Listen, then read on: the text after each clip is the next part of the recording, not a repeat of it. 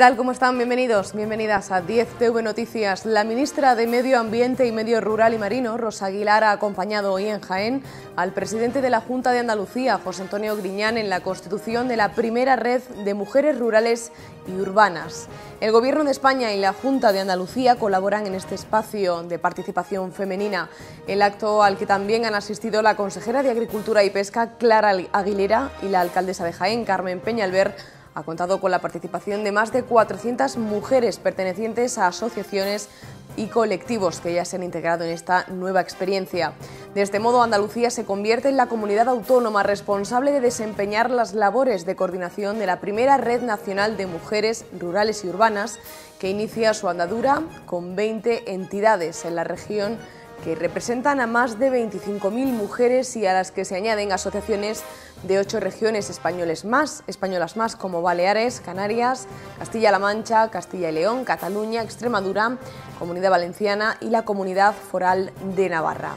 Y el lunes es la fecha escogida para la presentación del vigésimo tercer Festival Internacional de Música Ciudad de Úbeda, que se va a celebrar del 7 de abril al 21 de mayo y que organiza la Asociación Amigos de la Música en Úbeda en colaboración con el Ayuntamiento. Al mismo asistirá la titular provincial de la Consejería de Cultura, que al parecer mantiene el compromiso de apoyo al evento con los dos conciertos programados. Y citas carnavaleras este fin de semana, por lo pronto la de esta noche, la ocheada, se suspende inevitablemente por las inclemencias meteorológicas. Mañana probará más suerte el entierro de la sardina. Titulares y comenzamos.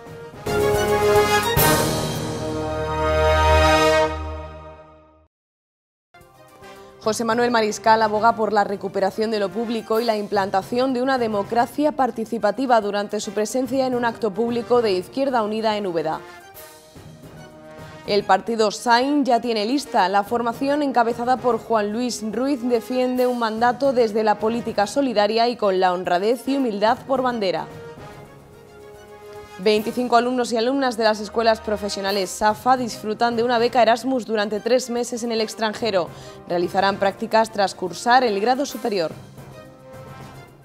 El Ayuntamiento de Baeza realiza balance económico de los últimos cuatro años. Destacan datos como la reducción de gastos en 2010 en un 5% con respecto a 2009.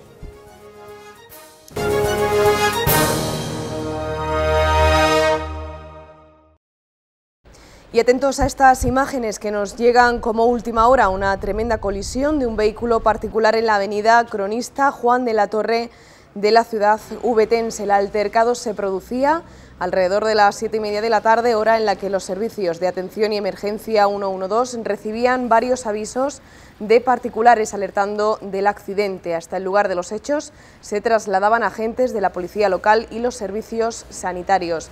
El conductor del vehículo, según fuentes consultadas, perdió el control del coche por un mareo saliéndose de la vía. Estos son los datos que hasta el momento han, han trascendido.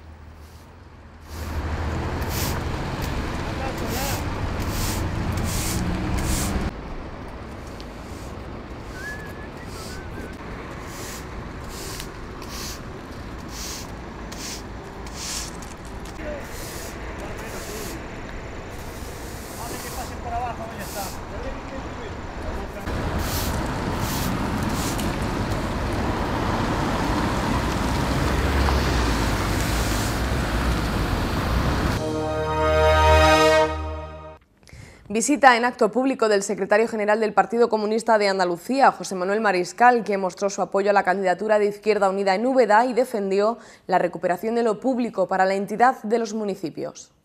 El secretario general del Partido Comunista de Andalucía, José Manuel Mariscal, ha visitado la ciudad de Úbeda para apoyar la candidatura de Izquierda Unida, encabezada por Diego de la Cruz Martínez, y participar de un acto público de entrega de carnet a afiliados de la ciudad. En la cita, el titular esgrimió la defensa de lo público como la única manera de evitar que los ciudadanos y ciudadanas pierdan derechos sociales, junto al fomento de la democracia participativa como otro argumento de peso. Insistió en que las próximas elecciones municipales suponen una oportunidad para pedir que los ayuntamientos sean Estado, motivo por el cual siguen peleando por la ley de financiación de entidades locales. Abogó asimismo por frenar las políticas de derechas y proporcionar fortaleza a las distintas candidaturas de Izquierda Unida en los municipios de la provincia. Solamente desde lo público se puede garantizar eh, el aseguramiento de los derechos sociales eh, del conjunto de la ciudadanía. Solamente desde la defensa de lo público y desde la utilización eficaz de lo público se puede hacer que funcionen en condiciones los servicios educativos, los servicios sanitarios, los servicios de aguas, eh, los servicios de energía, son los servicios de transporte, elementos todos ellos que vamos a seguir defendiendo, porque creemos que eh, los ayuntamientos y los municipios deben de tener servicios públicos en condiciones. Yo vivo en una ciudad, que es la ciudad de Córdoba, donde la defensa de lo público y las empresas públicas demuestran día a día una enorme fortaleza y una enorme capacidad de asegurar los servicios en todos los aspectos. Mariscal señaló además estar con la oreja puesta por todos los rincones de las ciudades para dar solución a los problemas de los colectivos, pero pasando primeramente por la organización. Destacó que tanto la democracia participativa como la recuperación de lo público únicamente se pueden garantizar mediante la exigencia por parte de los poderes municipales de la dignificación del carácter de los propios municipios. Más de política, ahora es el SAIN el que da un paso más en el camino a las municipales y presenta su lista electoral encabezada por el candidato Juan Luis Ruiz. Cita de tinte político y solidario. Hoy se da a conocer públicamente la lista de personas, hombres y mujeres que acompañarán a Juan Luis Ruiz en la candidatura a las elecciones municipales desde Solidaridad y Autogestión Internacionalista en Úbeda Sain. El Hospital de Santiago es el escenario para la comparecencia pública en estos momentos del conjunto encabezado por Ruiz y seguido por Francisco Javier Raez Ruiz, Catalina Trillo Molina, Guadalupe Molina Díaz, Trinidad Cruz Ramos, Francisca Ceacero Contreras, Gerardo Rodríguez García, María Angustias Muñoz Caño, Antonio Moreno Raya, Manuel Miras de Prats y Araceli García Gracia Mesa como primeros puestos. Cierra la lista Antonia Ramos Martínez y como suplentes aparecen nombres como Ángel Molina, Dolores Contreras o Eduardo García, entre otros. Una lista que llega para trabajar altruistamente por Úbeda, según decían, un grupo de vecinos y vecinas que se prestan al servicio de la ciudadanía, motivo por el cual dicen son diferentes a otros partidos políticos. No es la primera vez que se presentan en Úbeda, donde hay mucha competencia en esta ocasión, pero donde dicen contar con la confianza de ser conocidos ya en otros muchos ámbitos de la sociedad ubetense. Aquí hay gente trabajando de años, entonces eso va haciendo, va creando una cultura. Mucha gente, cuando nace el partido Sain, conoce ya pues a Juan Luque, a Javier, a Trini, a Guada, a Katy, les conoce del pueblo de, otras muchas cosas, ¿no? De, que es gente sencilla, gente que trabaja, un maestro es el, número uno en nuestra lista. Pues es un maestro que lleva años trabajando por sus muchachos y ahora está dispuesto también a trabajar por todos sus vecinos, ¿no? Entonces, sí, este es una, no sé si plaza fuerte, ¿no? Pero sí que un sitio donde además que el Sain podría empezar a, demostrar qué es eso de ser honrado en política, ¿no? Son 600 votos y, las otras, la otra vez estuvimos cerquita, o sea que esta también eh, puede ser la, la oportunidad. Seis nuevos letrados forman parte desde hoy mismo del Colegio de Abogados de Jaén. Se incorporan tras la celebración de un acto oficial hoy en el Salón de Plenos del Ayuntamiento ubetense. El Colegio de Abogados de Jaén ha celebrado este mediodía en el Ayuntamiento de Úbeda las juras como nuevos colegiados de seis letrados jienenses que forman parte desde hoy mismo de la institución colegial. Los letrados son Carlos Martos, que ha tenido como madrina Esther Pomares, Francisca Isabel Molina, con Javier Calvente como padrino, Miguel Ángel Delgado, apadrinado por Ramón León, María Trinidad Llera, apadrinada por María Jesús Vidal, Rocío Beltrán, de la que Félix Rodríguez Muñoz ha ejercido como padrino, y Bienvenida León, apadrinada por Javier Calvente. Los jóvenes abogados han pronunciado su juramento ante la Junta de Gobierno, presidida por el delegado del Partido Judicial, Pedro José Rubira Tobaruela, y el vicedecano Vicente Olla Amate. Este último ha destacado la importancia de la formación para desarrollar con éxito la labor del abogado y ha explicado que esta profesión de la abogacía requiere de una gran vocación para poder llegar lejos en ella. Continúa el camino a la digitalización de los ayuntamientos para facilitarle el día a día al ciudadano. Ahora es un punto de acceso al gobierno electrónico lo que se suma a la puesta en marcha de gestiones a través de Internet. La Diputación Provincial se encuentra inmersa en un proceso de telematización e implantación de nuevas tecnologías digitales en distintos ayuntamientos de la provincia, en concreto en las localidades de menos de 20.000 habitantes, como era el caso de hoy. Se trata de los puntos de acceso al gobierno electrónico conocidos como PAGE, unos dispositivos que van a permitir a los consistorios poner a disposición de la ciudadanía un punto de consulta y tramitación tanto a la propia sede electrónica del Ayuntamiento como al resto de administraciones, así como un tablón electrónico de anuncios y edictos. El diputado de Modernización y Gobierno Electrónico, Juan Antonio Espósito, ha sido el encargado de presentar el proyecto conocido como Jaén Provincia Digital. Este proyecto, pues cuando se inició, se inició implantando la red de ADSL para que todos los pueblos pudieran tener conexión. Inmediatamente después se implantó el MOAS, que es el modelo de ayuntamiento digital, donde vienen reflejados todos los servicios que el ayuntamiento presta al ciudadano. Y donde el ciudadano, lo que hoy viene haciendo vía papel y pasa un tiempo, tres, cuatro, cinco días hasta conseguir el documento que requiere, puede hacerlo eh, vía digital y telemáticamente sin problema y en cuestión de minutos. Porque con esa digitalización expresa conlleva que metiendo su tarjeta identificativa el ciudadano pueda lógicamente acceder, como estamos diciendo, a una solicitud eh, de empadronamiento o a una solicitud para utilizar unas pistas polideportivas o utilizar un vado o sacar una licencia de obra, etcétera, etcétera. El ayuntamiento contará con una pantalla gigante para ello como punto de acceso y tablón de anuncios donde se reflejará lo que trasciende y transcurre la administración local. Edictos, resoluciones e información de todo tipo pasarán del papel a la vía digital. El proyecto está valorado en 22 millones de euros para todo el territorio provincial y entre unos 60 y 70 mil euros invertidos por municipio. A partir de ahora, nuestros ciudadanos y ciudadanas podrán acceder a su ayuntamiento desde su propia casa, desde cualquier sitio o cualquier parte o punto de España, o en este caso del universo, y, nada, simplemente pues para pedir una partida de nacimiento, para pedir el padrón, el número de habitantes, para pedir cualquier documento que normalmente y hasta ahora, hasta el momento de, hasta en estos momentos, pues se viene haciendo a través del papel, del formato de papel. Con esto, esto conlleva pues un ahorro, por supuesto, como bien ha dicho nuestro diputado, eh, no solo hablando de eh, temas de ecología, sino que, también el servicio que creemos que se presta es eh, adecuado a los tiempos que corren hoy en día y adecuado, por supuesto, a las nuevas eh, tecnologías de la información y la comunicación por las cuales estamos viendo. Esta herramienta ha sido también presentada hoy mismo junto a los alcaldes de Bejíjar y Rus para prestar servicio en estos municipios de la comarca de La Loma.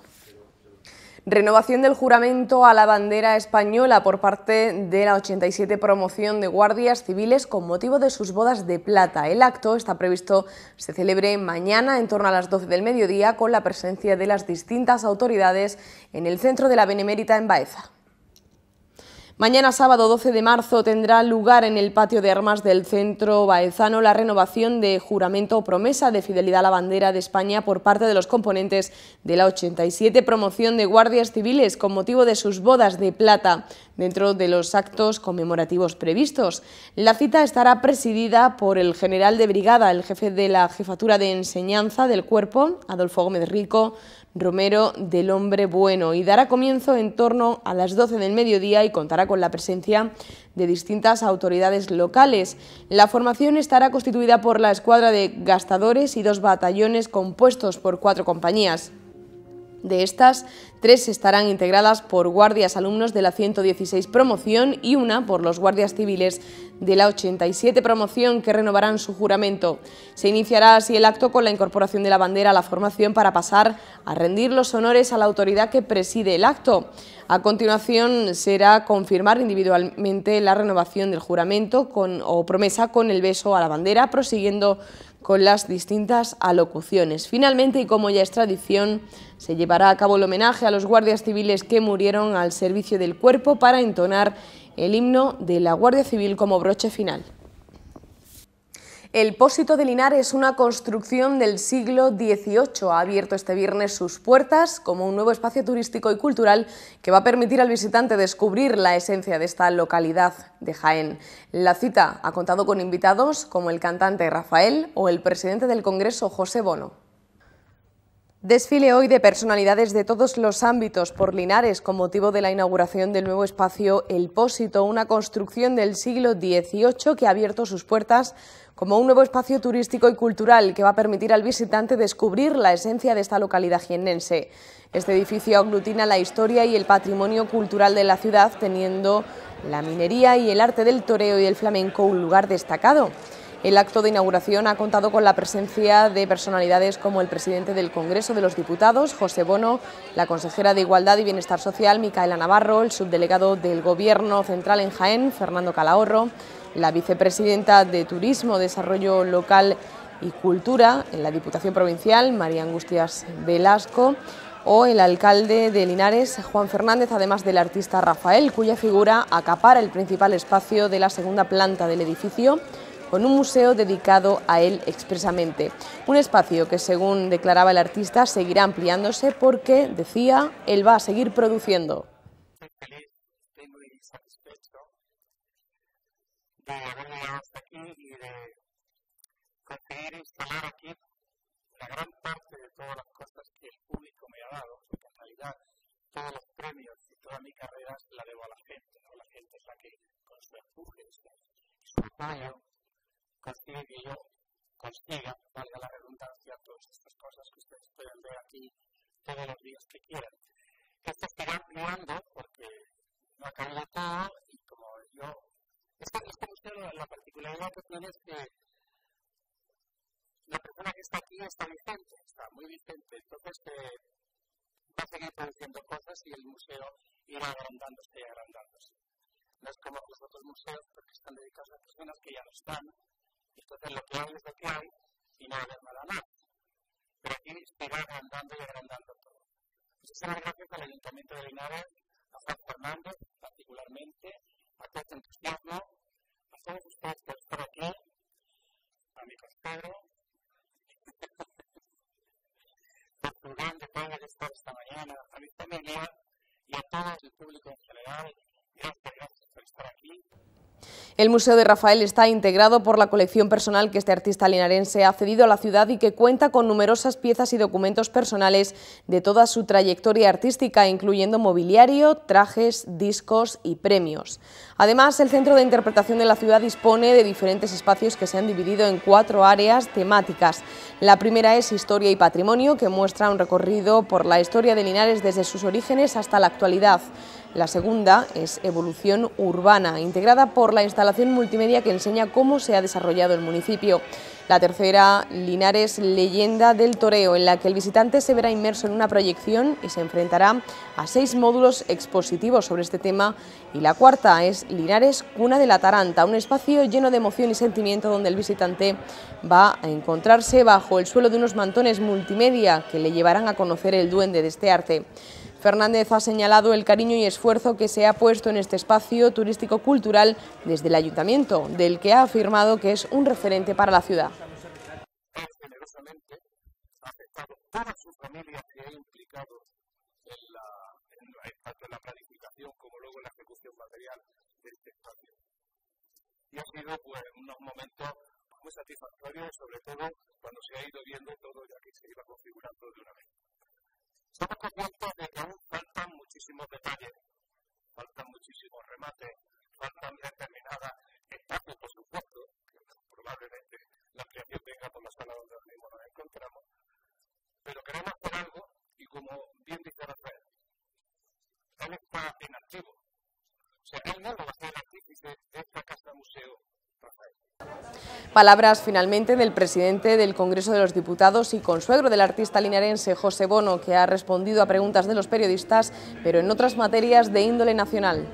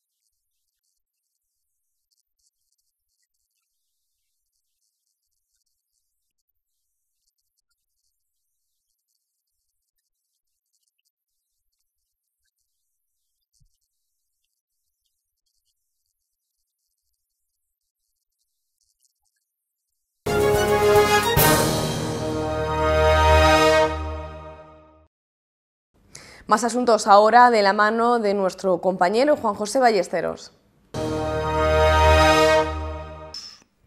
Un total de 25 alumnos de la Escuela de la SAFA de Úbeda disfrutarán de una beca Erasmus mediante la cual viajarán a cuatro países diferentes en los que desarrollarán sus respectivas prácticas.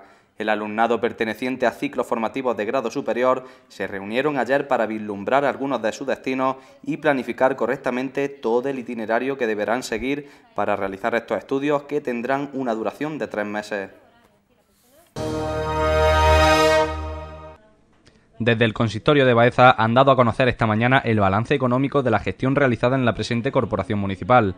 El avance de la liquidación del año 2010 ha sido el primer punto que el concejal de Personal y Hacienda, José María Fernández Galeano, ha destacado, donde ha señalado que la reducción de gastos ha sido el del 5% con respecto al año anterior. El edil ha querido destacar que ha habido estabilidad presupuestaria a pesar de la grave situación de crisis económica en la que nos encontramos. De la misma forma, en relación con las labores llevadas a cabo desde el ayuntamiento en los últimos cuatro años, destaca que se han pasado de resultados presupuestarios negativos en 2006 y 2007 a resultados presupuestarios positivos de 2008 a 2010, que sumados son de 1.400.000 euros. En el episodio de los aspectos negativos cabe destacar que contienen el mismo nivel de deuda a corto plazo, aunque a largo plazo lo han conseguido reducir. El balance que tenemos que hacer es contención de gasto personal, contención del gasto corriente, liquidaciones sucesivas en los tres años que llevamos gestionando presupuestos íntegros positivas, liquidaciones positivas, presupuestos que se aprueban y se liquidan positivamente y eh, en un escenario de crisis en el que nuestros ingresos se han visto mermados y que a pesar de ello pues seguimos prestando los servicios esenciales, seguimos pagando la nómina, se está haciendo un volumen de inversión importante que supera con mucho en estos cuatro años la media que venía haciendo Baeza. Yo tengo que recordar que Baeza en gasto de inversión en el último ejercicio se han acercado a los 5 millones y el año pasado, en el año 2009, para ser más preciso, 6.600, cuando la media estaba en no más de 3 millones de euros. El Partido Socialista de Torreperogil ha presentado esta mañana una herramienta más para hacer frente a las elecciones municipales de mayo. Se trata de una página web con la intención de acercar su inquietud y proyectos de futuro a todos los vecinos del municipio, además de dar a conocer a los miembros que se presentan en las listas electorales. De la misma forma, la candidata a la alcaldía Josefa Caballero ha señalado que sirve también como un elemento para que los torreños interactúen con el partido a la hora de transmitir sugerencias de cualquier ámbito. Este espacio está estructurado mediante una serie de secciones en los que se plasman diferentes ámbitos del partido, así como las actuaciones llevadas a cabo desde la administración regional en la localidad de Torre Perogil. Para poder acceder a ella basta con escribir en el buscador el nombre de la candidata, en este caso josecaballero.psoe2011.es aparece la biografía, una pequeña biografía de cada uno de los candidatos y en concreto también de la mía, de la candidata, que soy yo en este caso, y aparece eh, un apartado en lo que se trata también la gestión de, eh, de las administraciones socialistas en los últimos cuatro años. Me refiero a las inversiones que han realizado la Junta de Andalucía, la Diputación Provincial y el Gobierno Central aquí en Torre Perojí. Estamos hablando de una cantidad importante, alrededor de unos 4.000 millones de pesetas, y creíamos también que era algo interesante. Por otro lado, aparece otro apartado en el que, en el que bueno, se titula Mi proyecto, que sería donde colgaríamos el programa electoral, un programa que estamos en proceso de elaboración. Como ya sabéis, no solo estamos, vamos a poner en ese programa las ideas que los socialistas consideramos que deben de estar, sino que también estamos elaborando este, este, programa con la gente, con los colectivos, las asociaciones de Torre Perojí, así como estamos dando participación a los ciudadanos que a través de diferentes vías pues, pueden hacer sus aportaciones.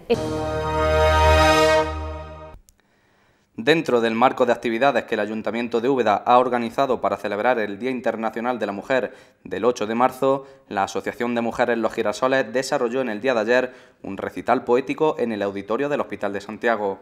En el acto denominado Mujer y Poesía en lo cotidiano, participaron un gran número de mujeres que quisieron conocer de primera mano esta sintonía poética dentro del ámbito femenino, con una original interpretación de las mujeres pertenecientes a este colectivo huetense.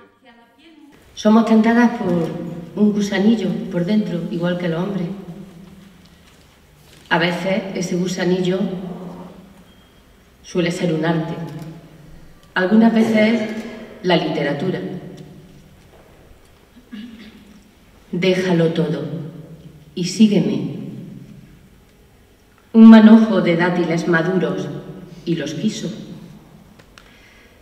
Pero quiso también cuidar al gato romo, deshojar las traviesas del oro de los puentes. Comienza una de las rutas gastronómicas más esperadas para los baezanos, hablamos de la jornada Baeza de Tapas 2011, que este año celebra su primera edición y pretende mostrar tanto a la población local como al visitante la rica variedad gastronómica de Baeza en forma de tapa, a través de un concurso entre los establecimientos y los propios participantes, con la participación de 16 restaurantes y bares baezanos que se encargarán de llevar a cabo una elaborada cocina desde ayer y hasta el 27 de marzo los clientes podrán degustarla bajo el precio de 2,50 euros, donde quedará incluida una caña Cruzcampo. De esta forma, a través de un plano ligón que se podrá depositar en las urnas Cruzcampo dispuestas para la ocasión, una vez completado, los participantes, ya sean clientes o los propios establecimientos, entrarán en una serie de sorteos con importantes premios. Para conocer una información más detallada de cada una de las tapas que se expondrán al público, desde Populo han subido a internet mediante las redes sociales de Twenty y Facebook las recetas de los 16 establecimientos.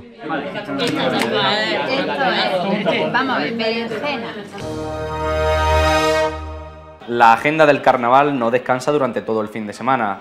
No obstante, las condiciones meteorológicas no preludian unos resultados óptimos en cuanto a la celebración de eventos al aire libre. De hecho, la tradicional ochiada que organiza la Asociación de Vecinos de Santa María en la Plaza Juan de Valencia se ha suspendido por la lluvia y se prevé que se celebre después de Semana Santa.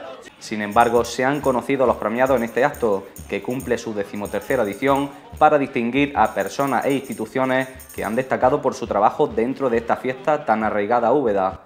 Radio Úbeda de Multimedia Gienense es una de las distinguidas por la Asociación de Vecinos con uno de los premios Ochío, este reconocimiento también ha recaído sobre la figura de Salvador García y los jóvenes de la Asociación de Vecinos de Santa María. Asimismo, la agrupación Ochioman se reconoce con el galardón denominado A Cara Descubierta y el premio a la buena gente Francisco Soria a la Asociación Carnavalera. Para mañana sábado, las diferentes agrupaciones de comparsa y chirigota actuarán en el barrio de las canteras dentro de la fiesta conocida como Pringá, a partir de las 2 de la tarde. Finalmente, por la noche se celebrará el entierro de la sardina a las 8 de la tarde con salida en el Hospital de Santiago para pasar por la calle Obispo Cobo, Mesones, Plaza de Andalucía, Real y Plaza de Ayuntamiento, donde se desarrollará la quema de la sardina. Después baile, Después, baile de carnaval y entrega de los premios Juan Caballos. No sé cómo la vi. O sea, la abuela estaba allí, con la paga en el bolso, así. Y si quiero el bolso, que sí. Y si quiero el bolso, que sí, que no, que sí. ¡Suelta! Se vino pa' mí. Me pilló, cuchillín, cuchillín. Virginia Gámez se encarga esta noche de ofrecer el segundo recital del séptimo ciclo Ámonos para el Flamenco dentro del anuario preparado por Flamenco Activo. El Hospital de Santiago alberga la voz de esta cantadora que está acompañada a la guitarra por Curro de María. Esta artista malagueña comenzó desde muy pequeña a mostrar su estilo propio con una destreza que le llevó a alcanzar importantes reconocimientos y premios. Además de participar en una serie de compañías de reconocido prestigio, ha tocado el ámbito de la docencia en la Escuela de Cante de la Fundación Cristina Geren de Sevilla. El próximo recital de cante será el viernes 18 de marzo y correrá a cargo de Gema Jiménez con Eduardo Rebollar a la guitarra.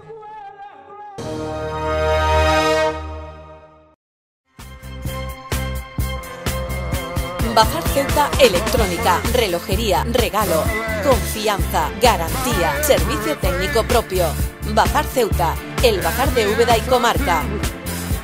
Irene Joyas, distinción, excelencia, regalos personalizados, el mejor precio, Bazar Ceuta e Irene Joyas, en la calle Zurbarán 1. Bazar Ceuta e Irene Joyas, patrocina el tiempo.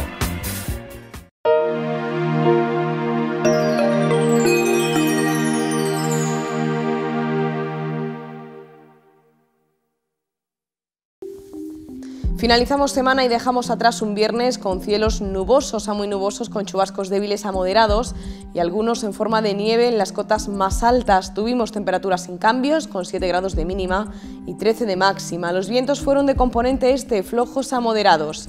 Para mañana sábado continuará una estampa similar, con cielos muy nubosos y precipitaciones débiles a moderadas y acompañadas de tormentas por la tarde. La cota de nieve se situará en 1.600 metros y las temperaturas van a permanecer sin cambios o en ligero ascenso, 8 grados de mínima y 14 de máxima. Los vientos serán variables flojos tendiendo a componente oeste flojos. De cara al domingo la situación no varía significativamente, si acaso experimentaremos una leve subida de las temperaturas máximas hasta los 16 grados y las mínimas se, se mantienen alcanzando los 8 grados. Los cielos se aguardan también muy nubosos con precipitaciones moderadas.